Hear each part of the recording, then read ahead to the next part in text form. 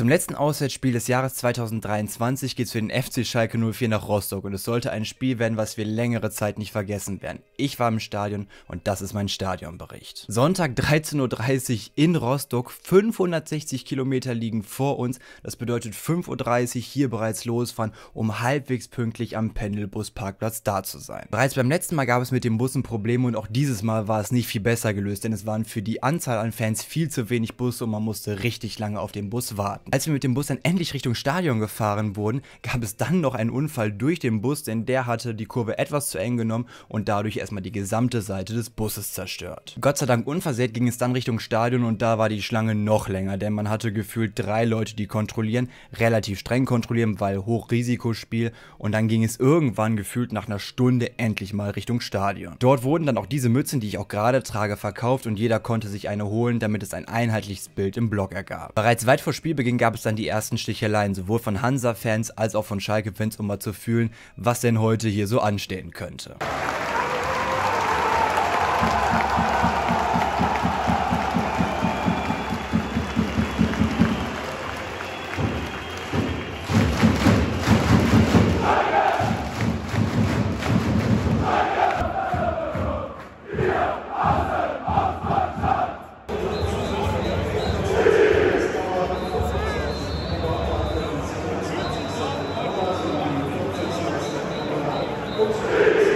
Ostseestadion ist natürlich richtig cool. Ich mag das Stadion an sich total gerne. Das einzige Weirde ist halt, dass der Ultras-Bereich neben dem Gästeblock ist. Das ist eigentlich ja nicht so geplant gewesen, sondern die sind da ja hingewandert. Aber es ist einfach jedes Mal total komisch, dass die halt direkt neben einen sind, weil normalerweise ist man ja möglichst weit weg und da steht man wirklich gefühlt so 6, 7 Meter vielleicht entfernt. Eine Stunde vor Spielbeginn kamen dann wie immer die Aufstellungen, die ihr hier seht. Schalke wechselt nur einmal Idrissi plötzlich in der Startaufstellung, aber verdient für Schallenberg. Rostock wechselt ebenfalls zweimal nach dem 2:2 beim letzten Spieltag. Kurz vor Spielbeginn gab es dann einen großen Banner mit der gleichen Aufschrift Ruhrpott und dort wurden auch die ein oder andere Fackel gezündet. Ich habe also die ersten drei, vier Minuten, es gab wohl eine Spielunterbrechung, ich habe nichts gesehen, also wirklich überhaupt gar nichts. Es war, als wenn wir irgendwie ein Nachtspiel hätten. Ich habe 0,000 gesehen, aber ich habe auch zum Glück nichts verpasst. Wenn ich ganz ehrlich bin, hätte ich nach 10 Minuten am liebsten wieder Rauch vor mir gehabt, weil das Spiel, was dann kam, war kompletter Müll.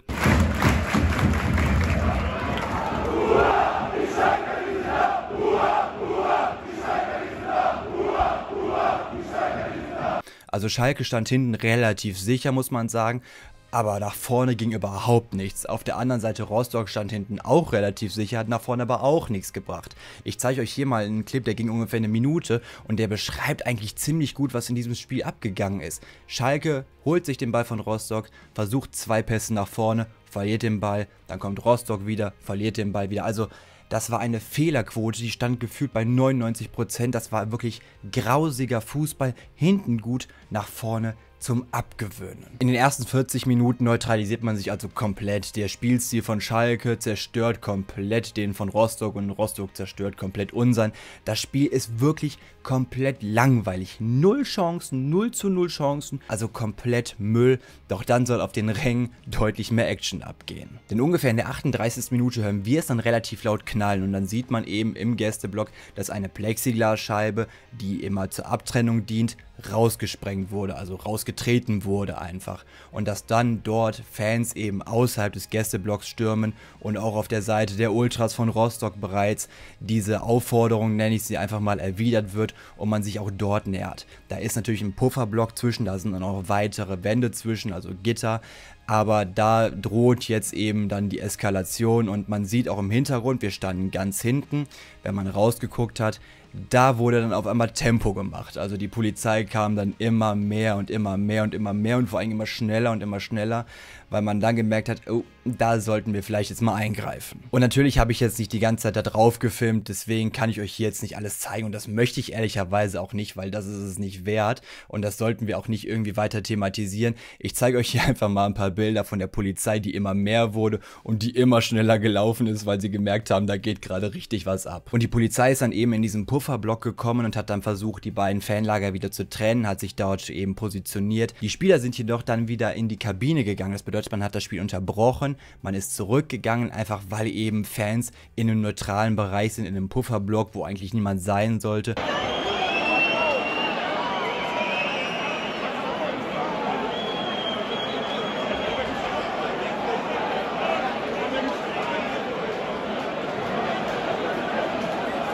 Und das war eben ein Sicherheitsrisiko, denn der Schiedsrichter auch gesagt bekommen hat, alles klar, das müssen wir jetzt unterbrechen. Und wie wir hinterher erfahren haben, war da schon der Punkt, dass die Polizei relativ schnell gesagt hat, das Spiel sollte abgebrochen werden, jedoch unter der Prämisse, wenn das Spiel wieder angepfiffen werden sollte und es sollte nochmal was passieren, dann wäre direkt vorbei.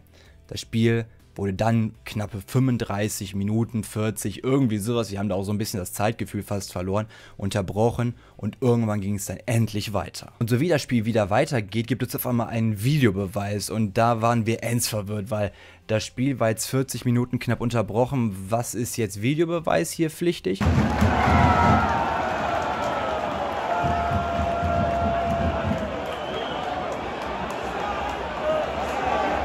Und dann guckt er sich das an und plötzlich sieht Junior Brumado die rote Karte.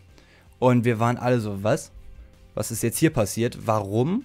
Das Spiel ist noch nicht mal weitergegangen, bis sich dann rausgestellt hat, vor der Unterbrechung gab es eine Tätigkeit von ihm an Idrissi. Und das wurde erst im Nachhinein dann kontrolliert, weil das Spiel ja unterbrochen war. Und so hat er mit ein bisschen Verzögerung die rote Karte gesehen.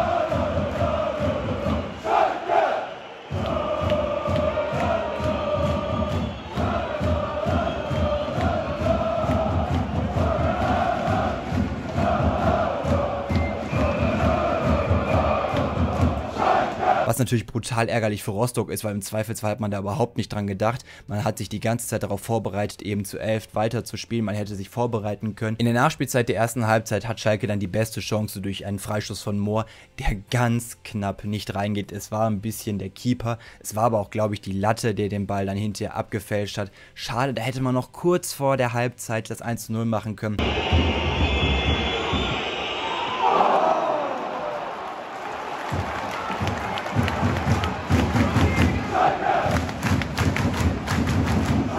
In der zweiten Halbzeit kommt es dann dazu, was die meisten wahrscheinlich erwartet hätten, wenn Schalke einmal mehr ist und Hansa hinten aufpassen muss. Hansa steht tief, versucht alles wegzuverteidigen. Schalke kommt kontinuierlich immer wieder zu Angriffen und vor allen Dingen über die Außen, über Flanken. Mörken, Mohr, Brunner über die Außen immer wieder Flanken, Flanken, Flanken. Lassme, Terode, wer auch immer gerade in der Mitte steht, aber insbesondere Brian Lassme hat eine Riesenchance und kriegt das Ding da nicht eingeschädelt. Und ich fange hier jedes Mal wieder an, über Brian Lassme zu sprechen, aber einfach, weil ich glaube, dass der Mann was leisten könnte. Und das war so ein Moment, wo ich mir eigentlich dann sogar Polter gewünscht hätte. Ich wünsche mir Polter, was ist jetzt hier falsch? Aber durch die ganzen Flanken wäre der große Polter eben sehr, sehr gut gewesen.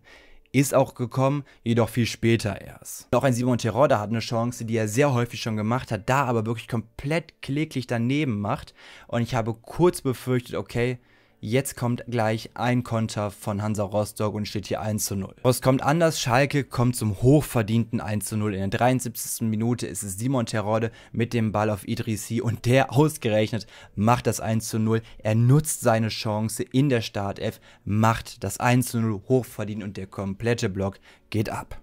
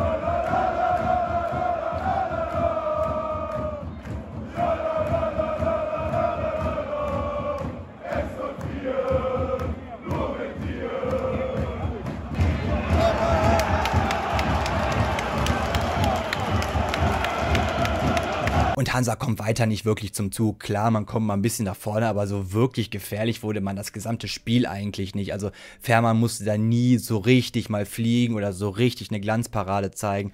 Das war also wirklich harmlos. Klar, du warst auch relativ lange halt mit einem Mann weniger, aber da kam überhaupt nichts. Und in der 86. Minute ist es dann ein guter Konter, Polter auf Karaman und der schließt perfekt ab. 2 zu 0, 86. Minute.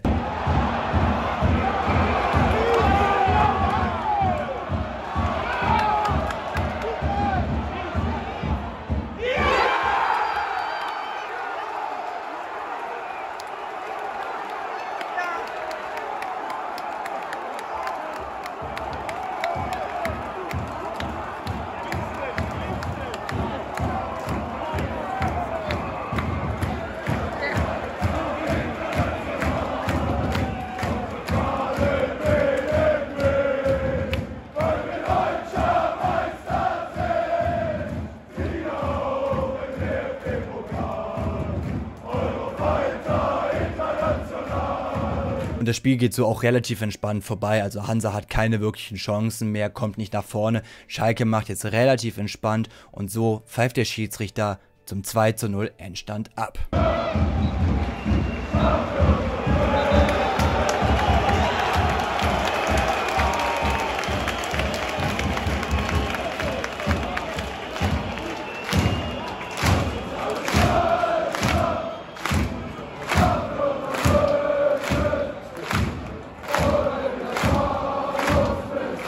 Während die Spieler von Hansa Rostock mit Applaus verabschiedet werden von den eigenen Fans, bleiben die Schalke-Spieler aber relativ auf Distanz. Es gibt hier jetzt mittlerweile verschiedene Lesweisen. Man hat wohl von der Polizei auch so gesagt bekommen, bleibt ein bisschen weiter weg, weil auch der Hansa-Bereich da in der Nähe ist.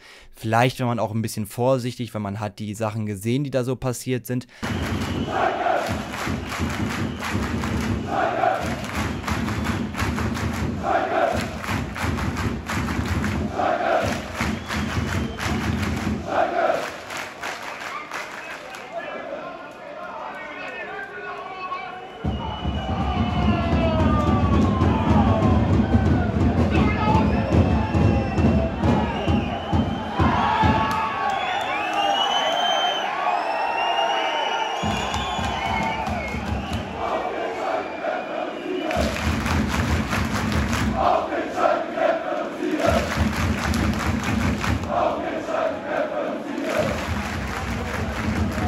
Ich weiß es nicht genau. Natürlich wurden sie mit Applaus verabschiedet, wurden bejubelt, kamen dann auch nochmal ein bisschen zurück. Aber man blieb schon so ein bisschen auf Distanz. Ich bin mal gespannt, wie das beim nächsten Spiel ist, woran es jetzt wirklich im Endeffekt lag.